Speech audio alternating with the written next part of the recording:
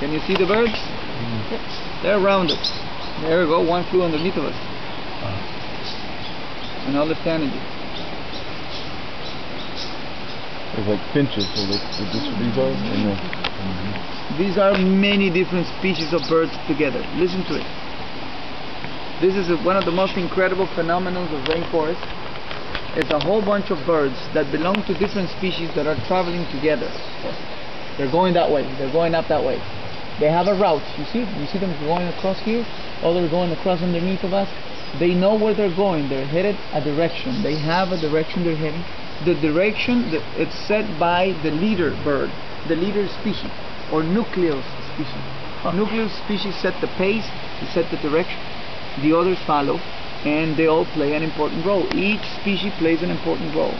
So then again, we go with biodiversity. The higher the biodiversity, the less individuals of each species. So if you want to make a big group, that big group has to be mixed. So what you saw was a magical mixing of species in which all of them are understand each other, know each other, travel together every year. And some of them are migratory, so they're new to this.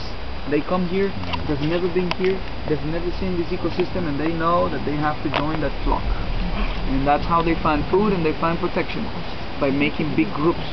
Just like we do, except that we do just humans. They're all different species.